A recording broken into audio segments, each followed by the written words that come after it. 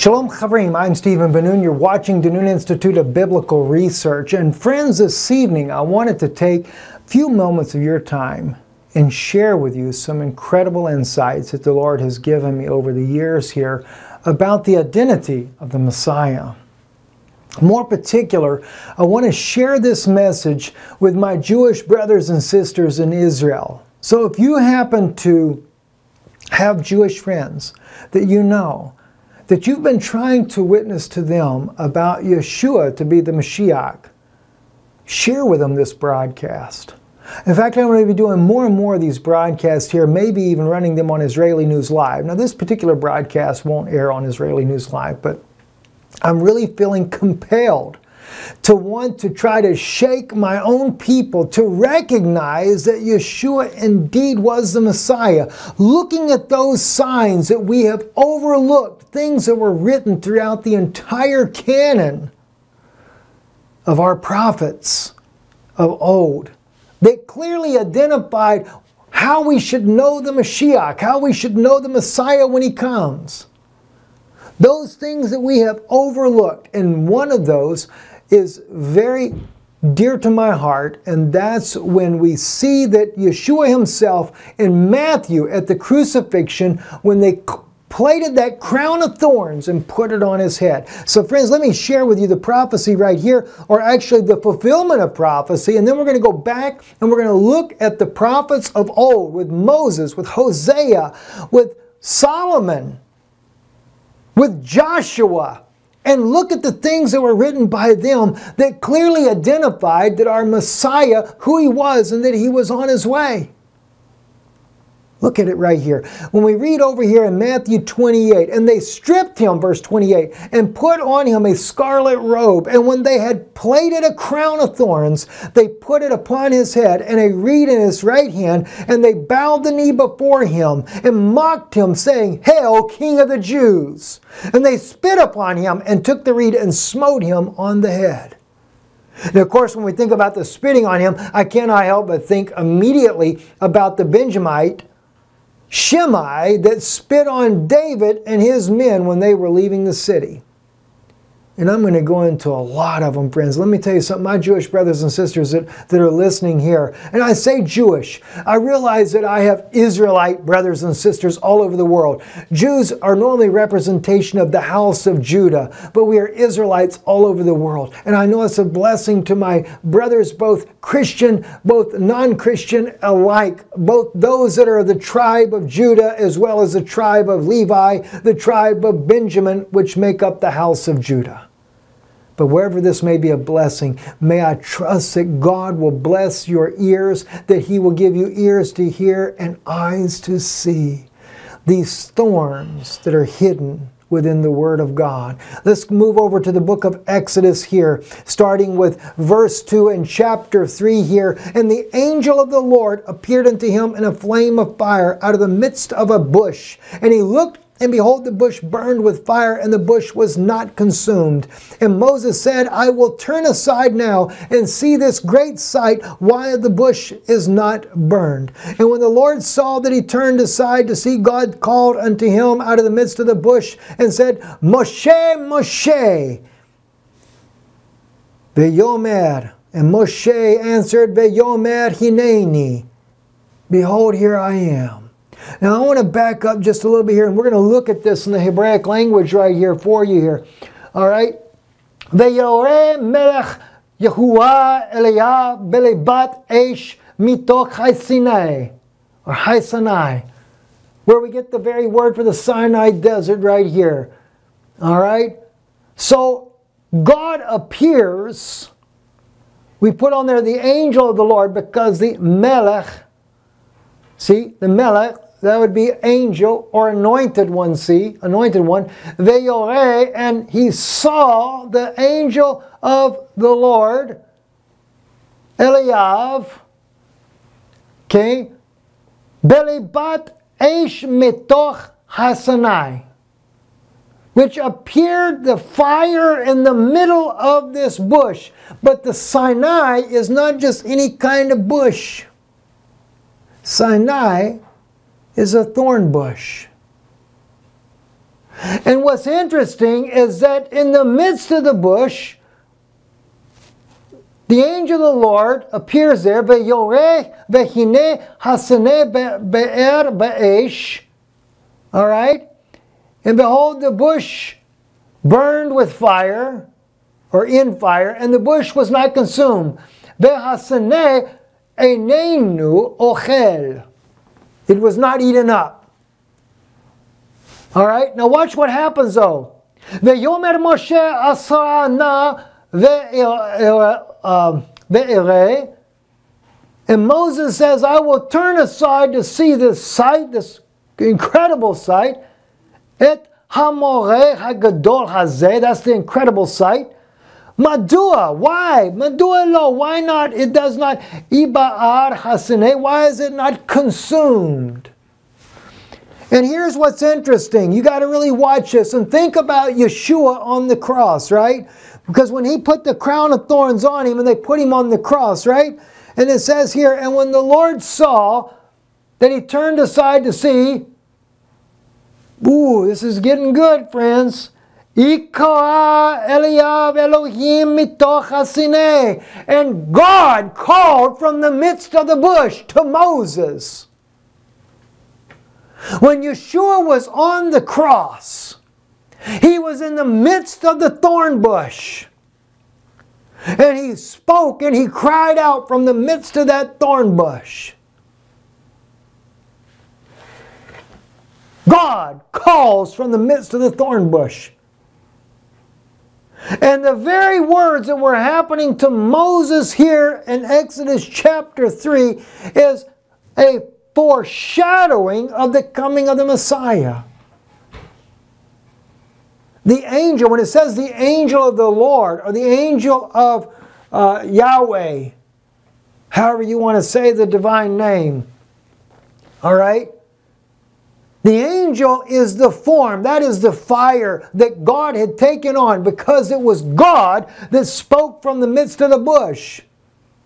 And Yeshua was the Son of God, or the body in which God Himself was pleased to dwell in. Interesting, wasn't it? Now, I'm going to show you some more prophecies about this same thing. Let's go over to Joshua. Now, some of these in King James, it may be a verse or two off, something like that. I'll try to tell you if I know it for sure. Let's look here, verse uh, 12. This is in Joshua's chapter 23. Else, if you do in any wise go back and cleave unto the remnant of this nations, even these that remain among you, and make marriages with them, and go in unto them, and they to you, know for certainty that the Lord your God will no more drive these nations from out of your sight. He was prophesying of Rome. See? God knowed that Israel was going to make a covenant with Rome one day under the Maccabees and think the Maccabees did a great thing. They only did a great thing when they liberated the temple. But when they made a covenant with Rome, just like Shimon Peres and, and Benjamin Netanyahu did today, that is not of God. But let me tell you something. Netanyahu ain't got a whole lot of choice in the matter. Why? Because the stage is being reset like it was 2,000 years ago. That's why he's doing it. Yeshua, when he was here, Rome was in control. They had a Roman governor over the city of Jerusalem. You don't think that they're not going to give the old city to the Vatican? Sure, they are. They're going to have a Roman governor once again. You don't think that, why do you think they let the United States military inside of Israel? Because we had a Roman military there 2,000 years ago. In America, I hate to say it, my brothers and sisters that fight in the military, I love you. I appreciate your fighting for freedom of our country, but you are also fighting the Pope's wars as well. And we put our military in Israel, we put in there the Roman military. What does he say here, though, for the Jewish people to know something, though? Know for a certainty that the Lord your God will not drive, no more drive these nations from out of your sight, but they shall be what? A snare and a trap unto you, and a scourge in your side. That was Yeshua. Yeah, you let him beat him, scourged him in his sides. Not just one, but both sides. And pricks in your eyes. Do you know that word there is thorns in your eyes? because they had put the crown of thorns upon him until you perish from off this good land which the Lord your God hath given you. And it was after the crucifixion of Yeshua that within a short period of time that Israel was driven from off the land. Prophesied again through the book of Joshua about the crown of thorns. Let's move over to uh, Solomon in the Song of, uh, Song of Solomon. Song of Songs, the Jews call it here uh, Shir HaShirim. I am the rose of Sharon, the lily of the valleys. Everybody knows that applies to Yeshua, right? What does it say here? As a lily among thorns, so is my love among the daughters. He was, excuse me, he was the lily, wasn't he? And that lily was where? Among the thorns. Mm. You know, actually, it literally says vein in between the thorns. Vein. And Yeshua wore that crown of thorns. He was in between all those thorns as they crushed it upon his head. And, and you know, friends, in closing, I'll share one more with you, and that's in the book of Hosea. Now, if you're following in the King James Version, it's chapter 2, verse 6. If you're following here uh, in the in the Mamre online, uh, the mechonmamre.org, theirs is chapter uh, 2, verse 8, but I'm going to start with verse 7. For their mother hath played the harlot. She hath conceived them and hath done shamefully, for she said, I will go after my lovers, there's Rome for you, that give me my bread and my water, my wool and my flax, mine oil and my drink. Yeah, Rome has made you a very wealthy nation. And, and uh, don't, don't think it's the United States. We're just a military wing. As Dr. Steve Pigeon said in the broadcast the other day, I don't know if I loaded that part yet, but I've still got one more part to go. Uh, he talked about how that uh, the crown, the United States, and the Vatican all work hand in hand. The Vatican is a religious entity, but they're the head of the crown. The crown has swore allegiance to defend the church. And of course, the United States is the military arm, and, and, and the British Crown is the financial arm. And yeah, our taxes go to Rome. Don't kid yourself. Therefore, behold, I will hedge up thy way with thorns, and I will make a wall against her that she shall not find her paths. What did Yeshua say? You have eyes and cannot see. What did he also say? I am the truth, the way, and the life and no man can come to the Father except by me. And what did God say because of the evil that she would do, that Israel would do? He says, I will hedge up your way with thorns, and I will make a wall against her that she shall not find her paths. My Jewish brothers and sisters, have we missed the Mashiach? I say we have.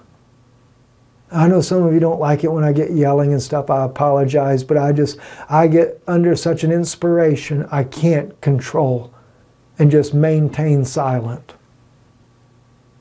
Maybe just turn the volume down. Might make it easier.